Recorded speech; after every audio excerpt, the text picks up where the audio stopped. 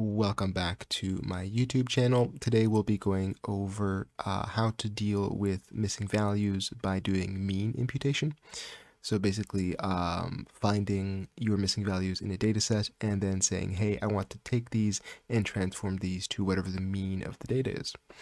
Um, as before, as, as with the previous video, I should say, uh, we'll be creating our own data set uh, because we need missing variables to actually go ahead and you know give an example of what to do with them. We can't be using uh, you know things like uh, Caret or Palmer penguins or the, the Star Wars datasets that are found commonly in R. Um, so the first thing we'll be doing is we'll be loading a couple of packages.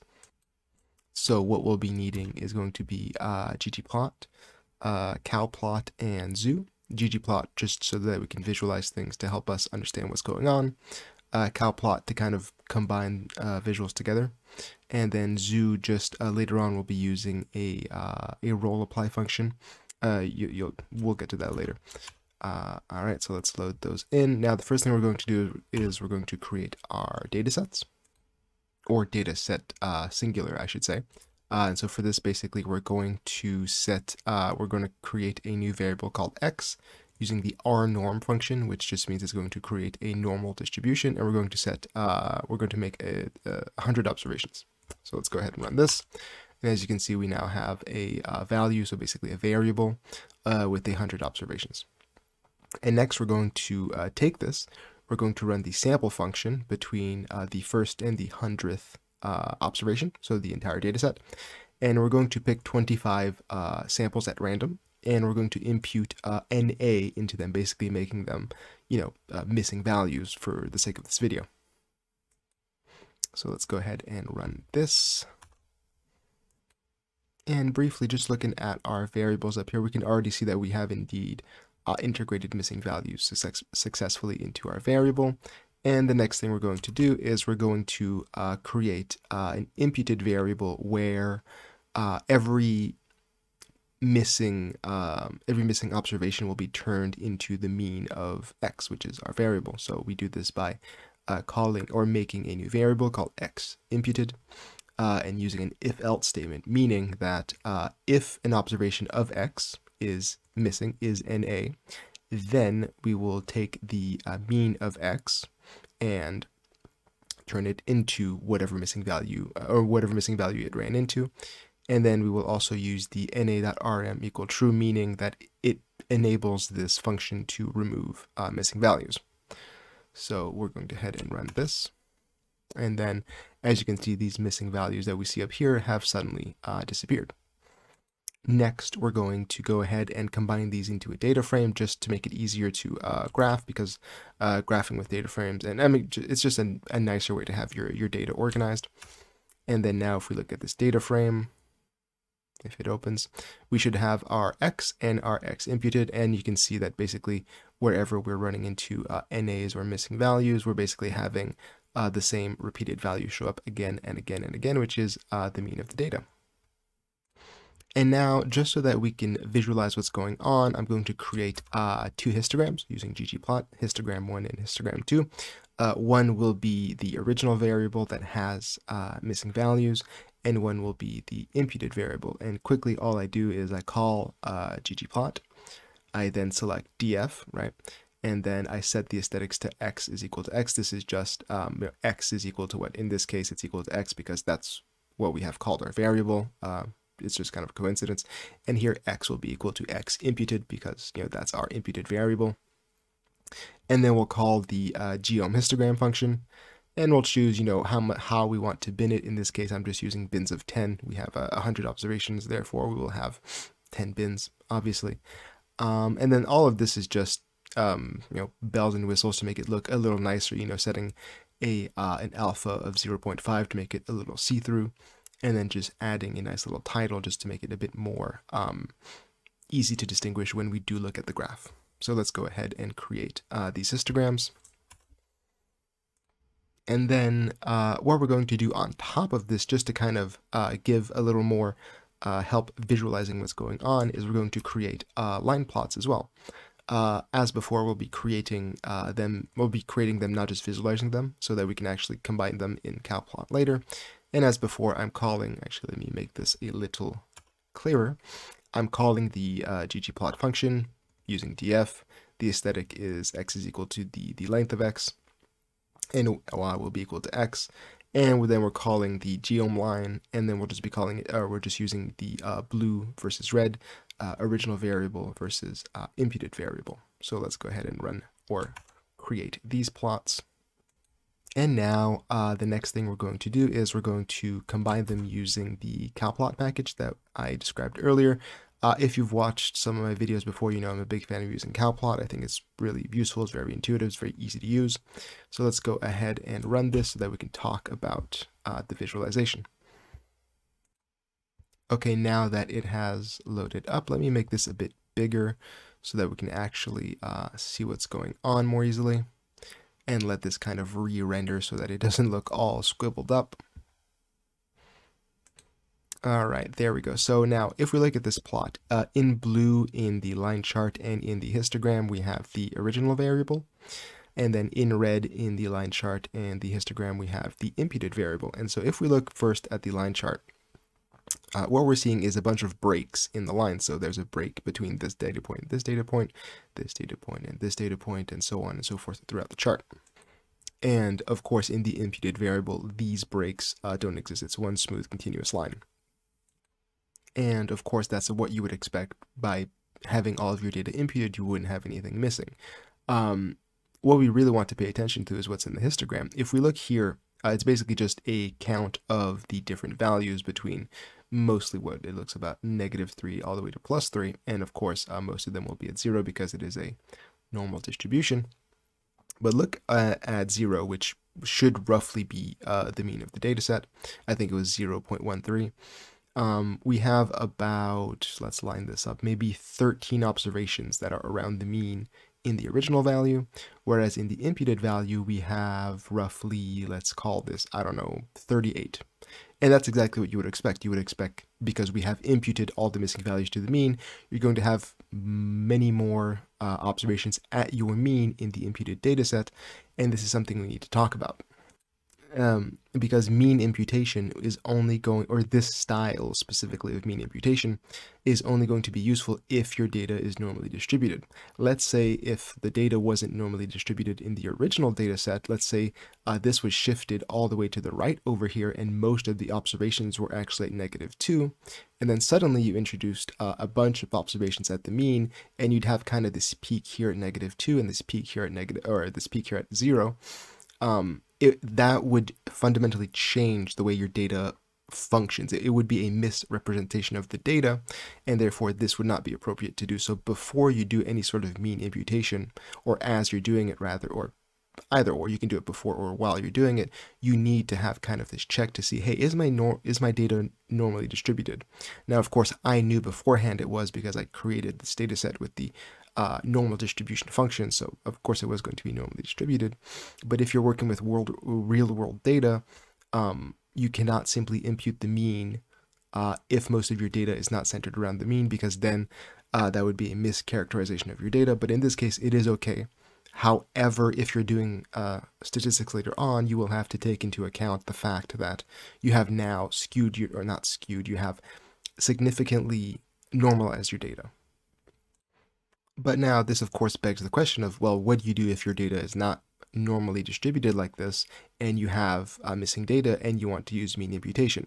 Well, you can still do that, but you'll have to kind of uh, change a little bit. And if you've watched my previous video on uh, winsorizing with rolling means, you this is basically, we're going to apply the same thing, but this time with mean imputation.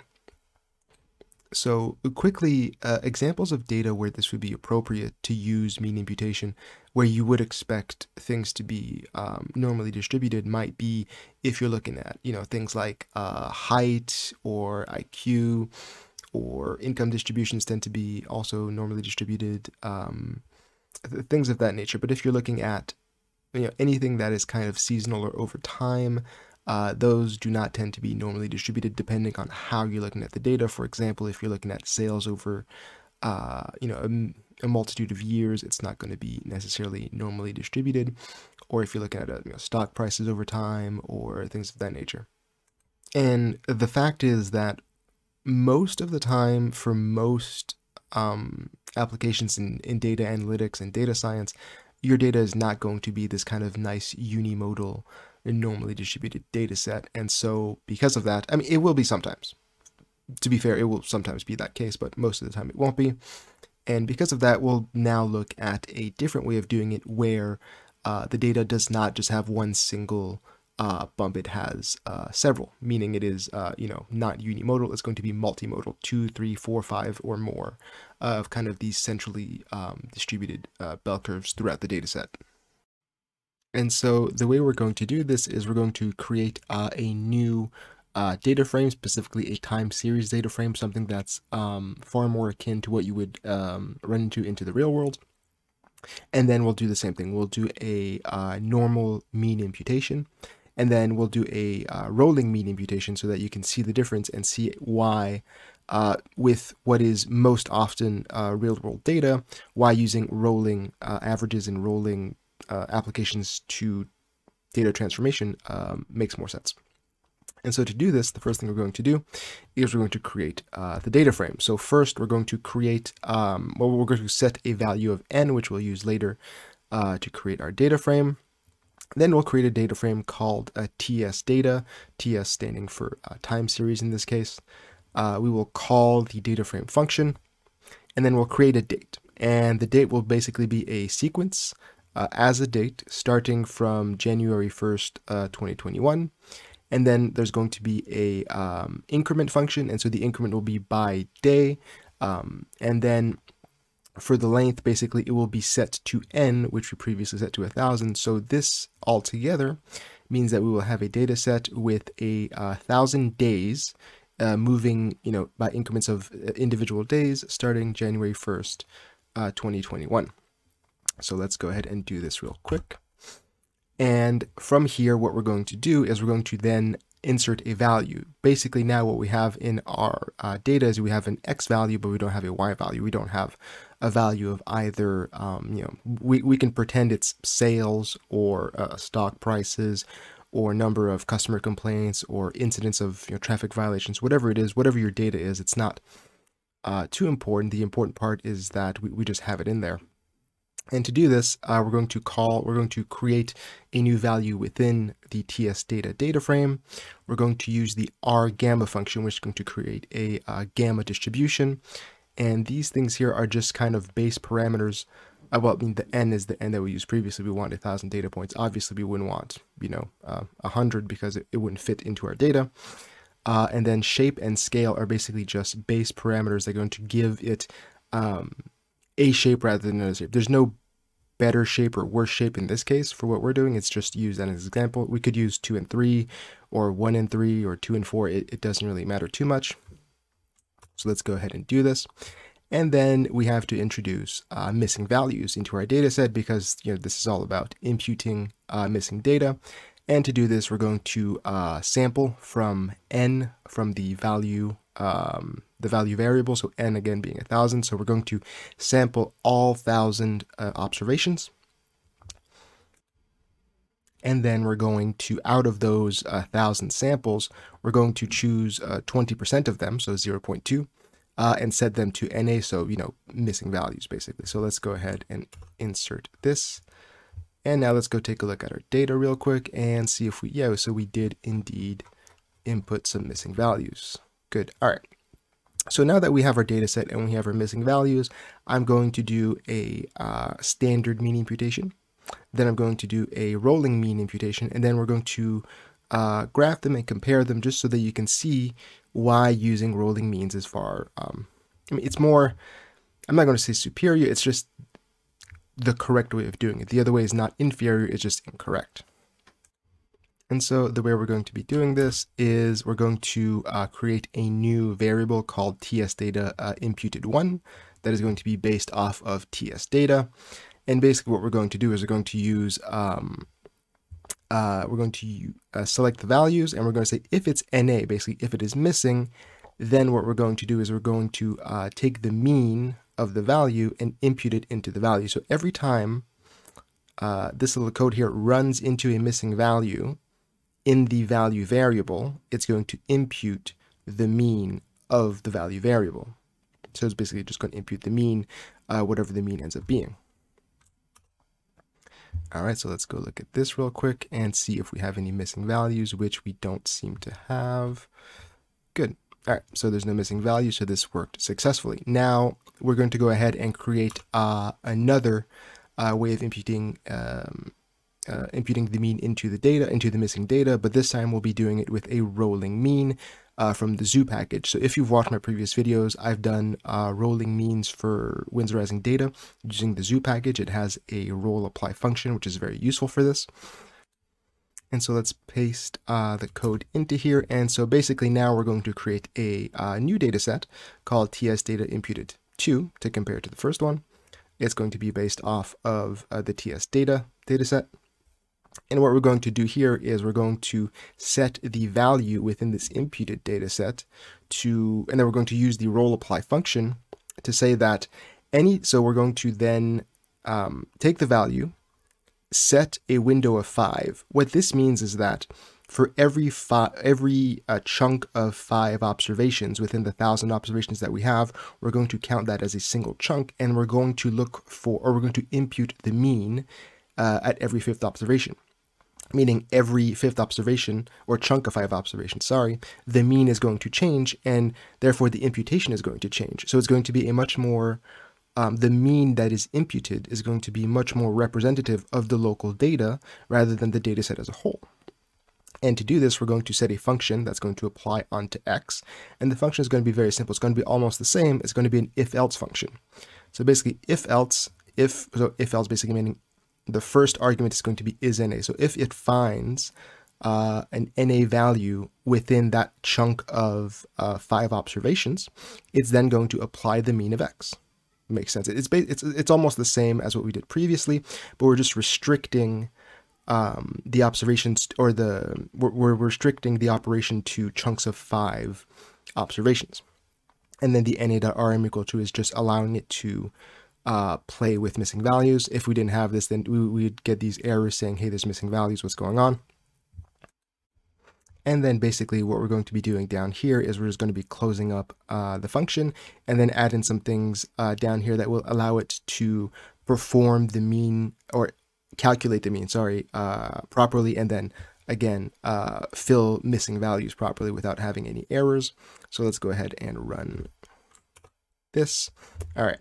So now that we have our um, traditionally uh, mean imputed variable, not traditionally, I would say, uh, whole data mean imputed variables and our rolling mean imputed variables, let's go ahead and create some graphs and then uh, combine them all together and then we can see what happened uh, by comparing these two different styles of imputation. And now basically I'm just going to go ahead and copy in a bunch of text, which is just a bunch of uh, ggplots. So all I'm doing here, uh, let me separate this a little bit so that it's a little more obvious. So basically all I'm doing here is I'm going to be creating uh, two histograms and two line plots because they'll show slightly different data. And uh, basically the histogram one and the line plot one will be um, our traditional mean imputation.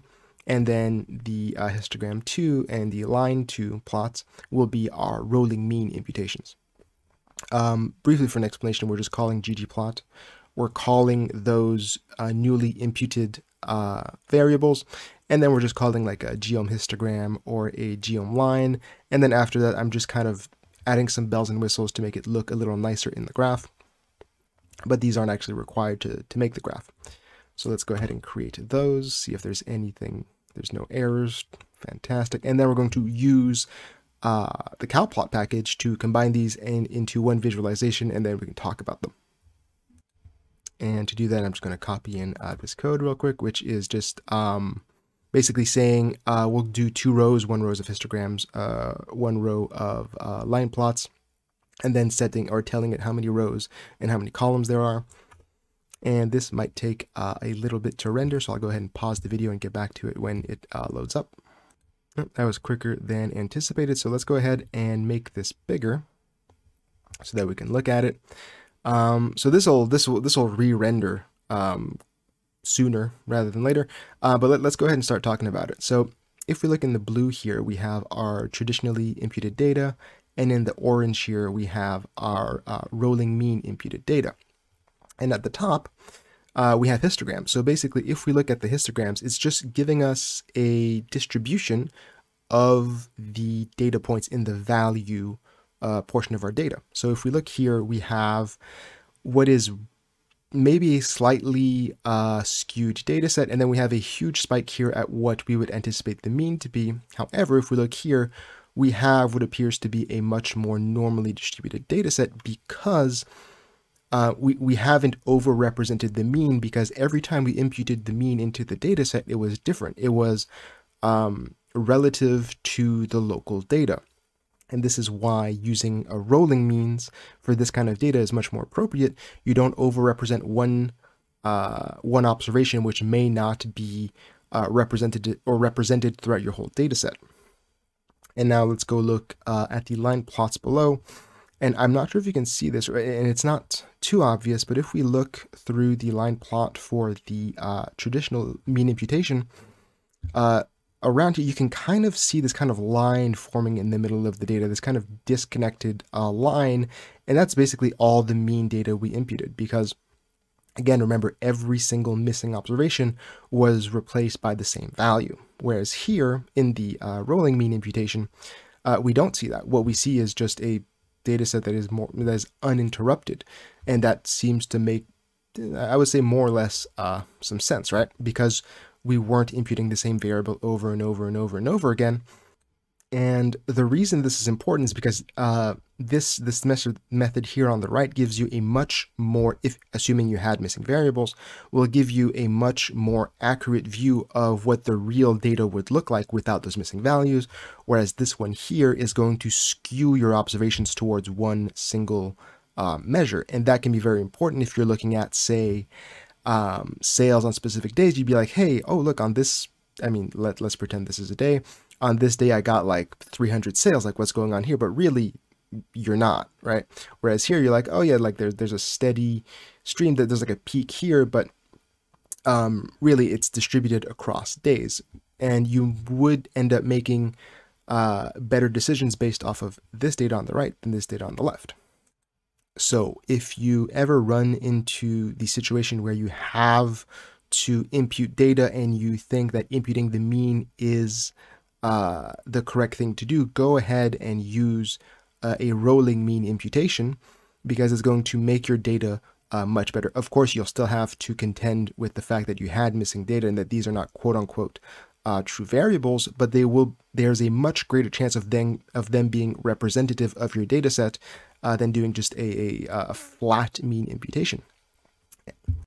And so that's all I had uh, for this video for you guys. Um, yeah, so next I'll be doing um, some videos on how to clean uh, string variables in R, because that is also a very common and often very time consuming aspect of data science or data uh, data well data science as well especially data science there's a lot of a lot of data cleaning in data science um, but especially in data analytics as well you you have to clean your variables a lot and a lot of the times your data will be string variables so I'll be doing probably two videos on that and then finally after that, I'll be doing a big, probably 30, 40, maybe 50 minute video on a full, you know, A to Z front to back uh, data cleaning project, but that will incorporate all of the things that I've taught previously. And I hope this video is useful for you guys. Uh, hopefully the videos I'll put out in the future will also be very useful for you guys. Um, I'll be posting the uh, code down in the, the description below. And if you have any questions, please feel free to ask. And uh, yeah, I hope you have a good day. I still uh, I still don't have an outro, but yeah, uh, have a good day.